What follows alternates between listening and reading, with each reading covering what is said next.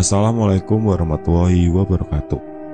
Gua ada sedikit pengalaman mistis nih Pas naik Gunung Cermai via Liga Sana. Ceritanya baru kemarin Tanggal 10 Juni 2021 Sebelumnya perkenalkan Nama gua Aldi Biasa dipanggil Engkong atau Gembul Gua mau cerita sedikit pengalaman hidup gua Waktu mendaki Gunung Cermai via Liga Sana Gua naik Gunung Cermai cuma berdua sama teman deket gua. Jadi gini ceritanya. Seminggu sebelum pendakian, teman gua yang biasa dipanggil Andi, WA gua. Kong, temenin gua nyok naik tanggal 9 Juni. Naik ke mana nih? Sindoro aja yuk. Ayo, gas lah. Singkat cerita, si Andi datang nih di tanggal 9 Juni sekitar jam 2 sore ke rumah gua, sekalian packing barang-barang apa aja yang mau dibawa. Nah, selesai packing, ngopi, dan ngabisin rokok sebatang. Gua berangkatlah berdua dari Depok ke terminal Bayangan Pasar Bu. Nah, pas udah sampai di sana, gua dan temen gua nyari warung dulu tuh beli rokok, minuman, cemilan buat di bus nantinya. Selesai beli itu, Gak lama bis tujuan Wonosobo datang dan gua naiklah bus itu.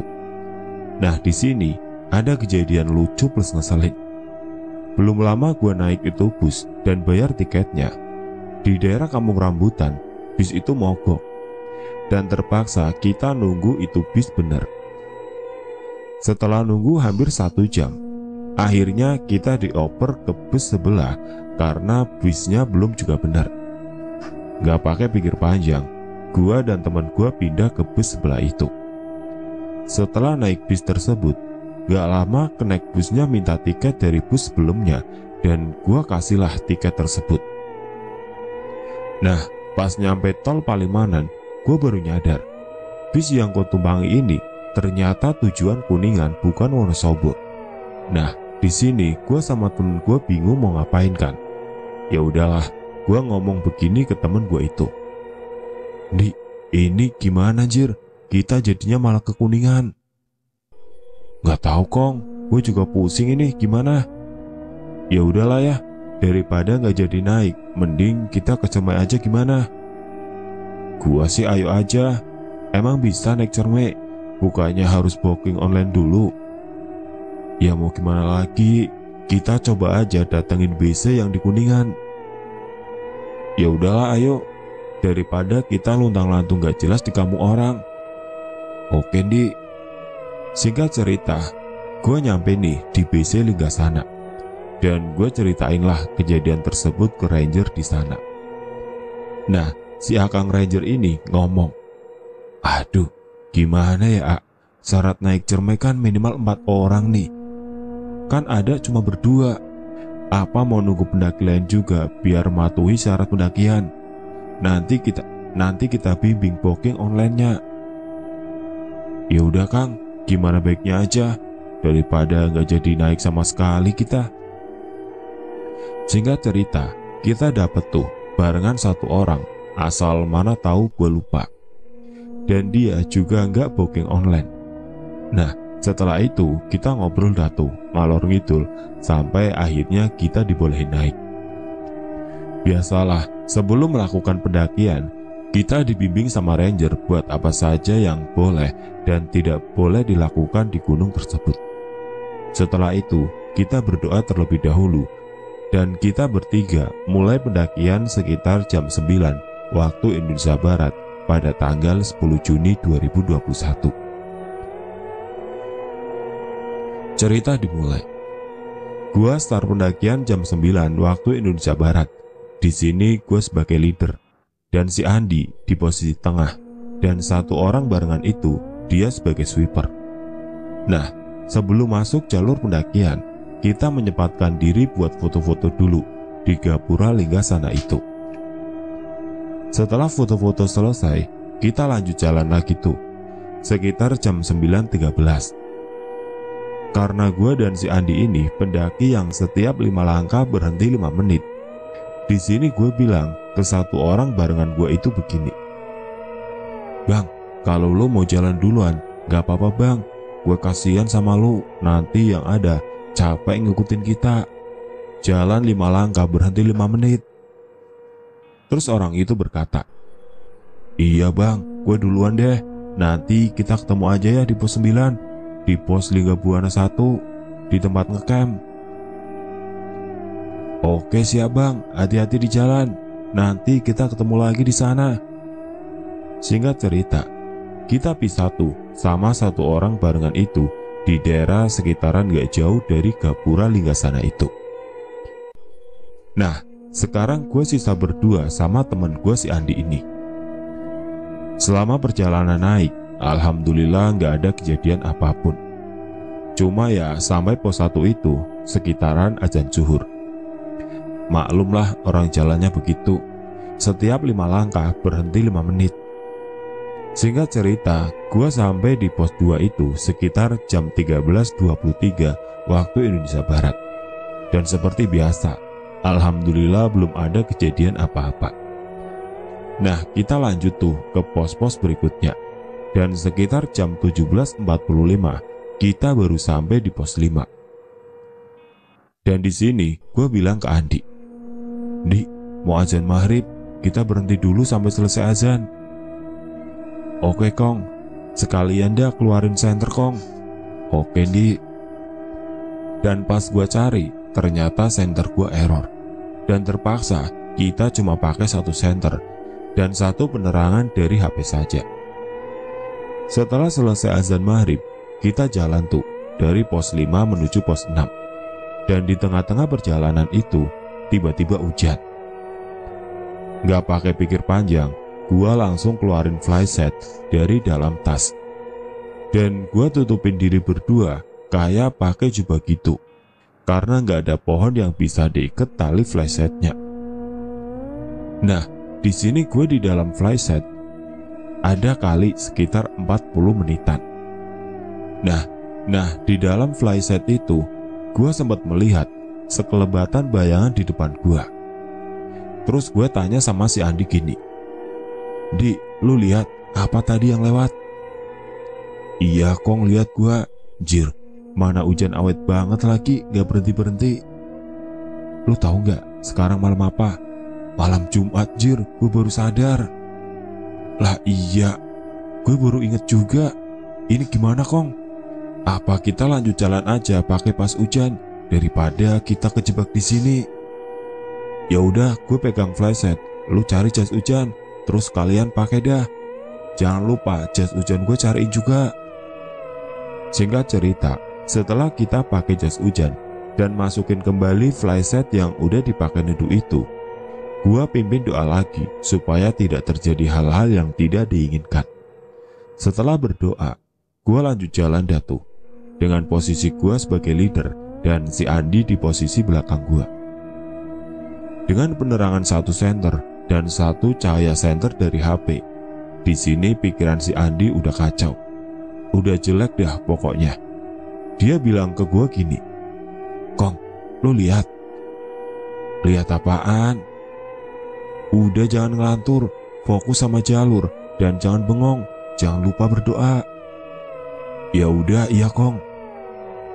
Sebenarnya gue lihat apa yang dilihat si Andi, yaitu pocong yang berbaris lebih dari lima berdiri di samping kanan kiri jalur. Nah, setelah nggak jauh dari tempat itu, akhirnya gue nemu tempat landai di pertengahan pos 5 ke pos 6 dan terpaksa gue diriin tenda di situ. Setelah 15 menit gue diriin tenda dengan penerangan seadanya. Akhirnya tenda jadi. Dan gue sama si Andi langsung lepas jas hujan, sepatu, dan langsung ganti pakaian yang kering. Setelah ganti semuanya, kita masak-masak, ngopi-ngopi. Sambil cerita gimana nasib satu orang barengan pendaki itu, akhirnya kita tidur. Kita tidur sekitar jam 22.49an dan gue di sini gak bisa tidur Gua ngerasa kayak ada orang di luar tenda, kayak lagi ngelilingin tenda gua gitu. Pada akhirnya gue cari earphone, terus dengerin musik, plus masuk sleeping bag buat ngilangin rasa takut gue itu.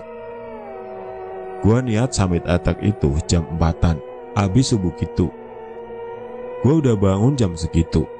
Tapi ya karena gue bangunin si Andi gak bangun-bangun, pada akhirnya gue lanjut tidur lagi. Nah, si Andi bangun sekitar jam 7.15, terus bangunin gue. Kong, bangun Kong, katanya mau samit. Samit apaan? Jam segini jir. Lo lihat sekarang jam berapa? Lah iya jir, udah terang. Tawa lagi lo, bukannya mikir. Ya udah ayo ke puncak, tapi kita makan dulu nih plus ngopi dulu. Oke Kong, siap. Setelah kita makan, ngopi, ngudut, akhirnya kita summit attack jam 9 pagi. Coba lu bayangin gimana tuh. Nah, sekitaran pos 8, kita ketemu tuh sama satu orang barengan itu. Dia lagi jalan turun ke base camp. Dan gue berhentiin dulu tuh, plus ngajak ngobrol lagi. Gue tanya gini, gimana malam? Aman gak? Terus nyampe puncak gak? Alhamdulillah aman bang, gak ada apa-apa. Oh ya, tadi gue nyampe bang puncak, tapi cuma bisa ngeliat kabut doang. Anjir, kasihan bener. Berarti disuruh balik lagi tuh nanti kalau ada waktu bang. Oh ya, Nanti kalau udah sampai base camp, bilang ya, gue turun besok bang. Oke siap bang. Jadi gue itu emang sengaja ngambil tiga hari dua malam dari awal. Karena ya taulah kita terlalu nyantai jalannya. Jadi si satu orang barengan itu, dia turun duluan. Dan lu mau tahu nggak? Gue di jalur itu cuma bertiga aja di jalur Linggasana itu. Gak ada orang lagi.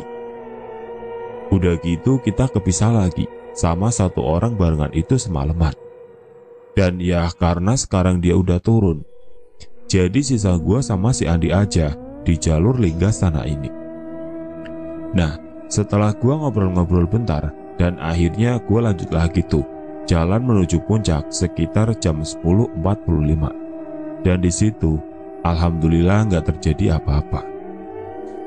Singkat cerita, Gua sampai pos 9 itu jam 11.38 dan di situ gua minta break dulu sama si Andi. Ya karena kan itu udah masuk waktu zuhur dan kebetulan pada saat itu hari Jumat. Setelah break, gua lanjut jalan lagi tuh sekitar jam 12.25. Nah pas saat gua mau lanjut jalan tuh, hujan. Ya terpaksa gua ngeluarin jas hujan lagi dong dari tas carrier gua dan gak lama hujan itu berhenti. Nah, di sini ada yang aneh gara-gara si Andi ngomong. Eh, sialan bener, hujan cuma bang lewat doang. Gua kira awet, orang udah pakai jas hujan juga. Dan di sini gue bilang si Andi, jaga tuh mulut.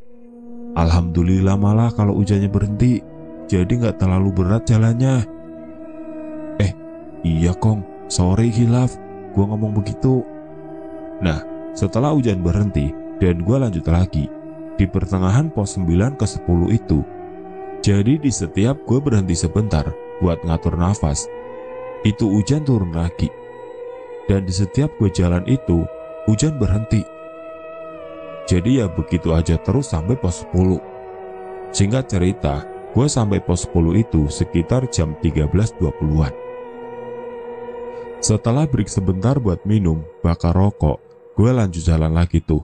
Dalam keadaan basah semua dan gerimis yang awet banget. Singkat cerita, gue sampai pos 11 tuh, sekitar jam 14.15an. Dengan kondisi kabut yang tebel banget, sampai jalur itu nggak kelihatan. Pokoknya jarak pandang terbatas gitu. Di sini gue berdoa, Ya Allah, tolong hilangkan kabut ini ya Allah. Saya mau lihat atap Jawa Barat ya Allah. Dan gak lama, kabutnya hilang dan muncul matahari, tapi masih keadaan krimis gitu. Nah, setelah 15 menit jalan, si Andi ngomong, Eh, gede banget gua, ini krimis kagak kelar-kelar. Nah, setelah dia ngomong begitu, jalur ketutup lagi sama kabut. Dan di sini, gue tegur lagi si Andi. Udah rasain baik, emang cuacanya begini aja dari kemarin juga. Udah jaga itu mulut, jangan ngomong sembarangan. Minta maaf lu sama alam. Iya kong, sorry banget nih ya, mulut gue kagak bisa dijaga pisan ini. Dan gue jawab, ya udah ya. Dan setelah perbincangan itu, sekitar 10 menit kemudian, jalan kebuka lagi, dan itu kabut udah mulai tipis. Sehingga cerita, gue sampai puncak tuh jam 15.50-an. Dan di situ gue istirahat, ngopi-ngopi, ngemil. Setelah itu gue foto-foto. Gue di puncak itu cuma berdua aja, gak ada orang lagi. Kan biasanya puncak itu rame dari via mana saja. Nah ini bener-bener gak ada orang sama sekali. Bener-bener berdua datu di puncak. Setelah kegiatan foto-foto, ngopi selesai, dan akhirnya gue turun dari puncak itu jam 16.25. Di sini itu, treknya bener-bener licin plus terjal. Ditambah lagi pas gue turun dari puncak itu gerimis lagi. Gue di situ dalam kondisi basah kuyup, lapar, kehabisan air. Dan di situ gue bilang sama si Andi itu gini, Di, usahain jam 6 sore sebelum gelap kita harus udah di pos 9 ya. Iya kong, siap. Gue juga takut jir. Setelah itu, gue lanjut jalan lagi tuh. Nah, sebelum pos 9, kan kayak ada pecahan gitu. Dan jalan tertutup kabut. Itu jarak pandang cuma satu meter aja. Gue di situ ngambil keputusan buat break dulu sambil nunggu kabut hilang. Di situ gue cuma bisa berdoa. Nah, sehabis gue doa itu, tiba-tiba ada burung jalak hitam. Dia seolah-olah tuh kayak mau nunjukin jalan gitu. Dan gue bilang ke si Andi itu gini. Di, ada burung jalak tuh. Kayaknya mau nunjukin jalan deh. Coba ayo ikutin. Iya kong, Coba kita ikutin. Dan akhirnya gua ikutin itu burung jalak. Dan setelah 10 menit jalan melewati kabut itu, gua udah sampai di pos 11. Dan di situ gua bersyukur banget. Udah dikasih tahu jalan turun sama Allah lewat burung itu. Nah, gua sampai pos 11 ini jam 17.00. Pas banget jam alarm tangan gue bunyi. Di sini hujannya makin deras dan terpaksa gue harus lanjut jalan lagi, tapi setengah lari gitu. Dan setelah 15 menit jalan, gue sudah nyampe di pos 10. Nah, di sini itu hawanya udah mulai beda. Gue sempat duduk sebentar ngelurusin kaki di pos 10 dan di sekitar gue kayak ada yang merhatiin gitu. Dan gue iseng dong ngelirik kanan kiri gue. Nah, lu mau tahu nggak apa yang gue lihat? Itu tuh banyak mata merah dari berbagai arah. Di situ gue udah lemes banget ngelihat gituan. Gue sempat bengong tuh sebentar. Dan alhamdulillahnya si Andi itu narik tangan gue nyuruh lanjut jalan turun lagi. Setelah gue jalan itu, gak lama di pertengahan pos 9, gue dengar azan maghrib dari alarm HP si Andi. Di sini gue agak sedikit lega sih, karena udah gak jauh dari pos 9. Karena masih adzan, gue di sini sama si Andi itu break lagi sampai nunggu adzan selesai.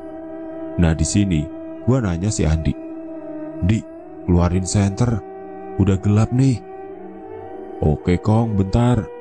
Setelah si Andi nyari itu senter gak ketemu-ketemu, dan di sini dia baru ingat kalau senternya ketinggalan di tenda. Di sini gue udah lemes dengernya. Untungnya baterai HP gue berdua masih ada. Setelah azan selesai, gua mutusin jalan lagi dengan pencahayaan dari HP doang. Gua turun agak sedikit lari dan si Andi pun ikutan lari. Cuaca di malam itu sedikit gerimis dengan cahaya yang minim dan jalan licin. Gua dan si Andi kepleset mulu setiap lima langkah sekali. Nah, yang ngeselin itu setiap gue jatuh nih sama si Andi, gue selalu diketawain. Di sini gue dan Andi udah cuek.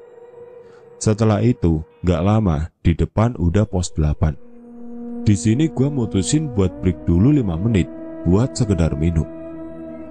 Setelah 5 menit berlalu, gue jalan lagi. Nah, di sini, sepanjang jalan, gue denger gamelan Sunda.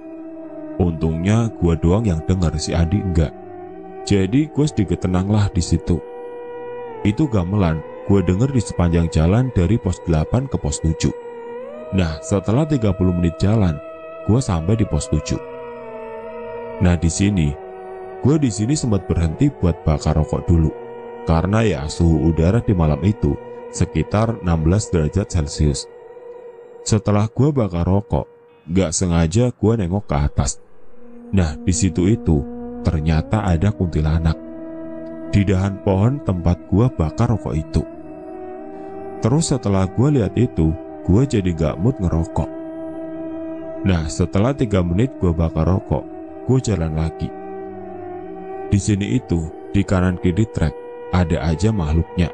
Dari mulai pocong, punti, gendruwo, anak kecil, nenek-nenek. Pokoknya ada semua dah itu di situ. Kejadian itu terjadi sampai gua sampai tenda. Jadi itu setiap jalan Gue gak pernah berhenti ngucap assalamualaikum atau permisi. Ditambah doa-doa pendek yang gue bisa. Singkat cerita, gue sampai di tempat gue diriin tenda darurat itu jam 20.09. Di sini itu, gue agak sedikit lega. Setelah sampai tenda, gue ganti baju dulu tuh. Karena ya, baju yang gue pakai itu lumpur semua. Dari baju, celana, sepatu, isinya lumpur semua.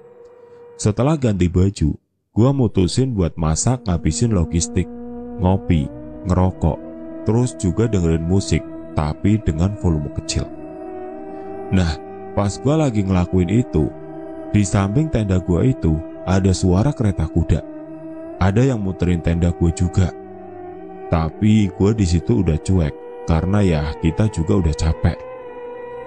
Singkat cerita, gue bangun tidur itu jam 8 Padahal udah masang alarm juga jam 5, tapi ya karena kecapean. Jadi mager bangun. Setelah itu gue packing tenda, packing semuanya. Setelah rapi, gue mutusin jalan turun tuh. Hari Sabtu jam 9.30 dengan kondisi kehabisan air. Jadi gue gak minum lagi tuh setelah bangun tidur. Berasa kayak lagi puasa. Nah di sini, gue coba teriak bang buat mastiin ada orang apa enggak. Eh ternyata nggak ada. Ya udahlah, gue lanjut lagi jalan dengan keadaan haus lapar. Singkat cerita, gue sampai pos 3 itu jam 11.30. Untung di sini ada air. Jadi ya gue minum dulu di situ sambil istirahat sampai azan suhur. Singkat cerita, gue lanjut jalan lagi. Nah, gue ketemu rombongan kuningan itu sekitar sebelum pos 1. Dia berjumlah enam orang. Dan gue di sini berucap, Alhamdulillah, akhirnya ketemu manusia. Dan dia pun tertawa. Di sini gue berhenti dulu, ngobrol-ngobrol sama rombongan itu, dan gue dikasih cemilan datu. Sekalian gue ceritain kejadian di atas sama dia. Kebetulan dia satu tahun lalu yang buka jalur sana. Setelah gue cerita-cerita itu, gue pamitan sama rombongan itu jam 13.00 dan gue di situ jalan agak sedikit santai. Di pos 1, gue ketemu rombongan lagi, asal Indramayu sekitar lima orang. Cuma di sini gue negur doang. Singkat cerita, gue sampai base camp lagi itu jam 14.05 dengan keadaan kayak Tarsan, orang di base camp malah ketawain gue.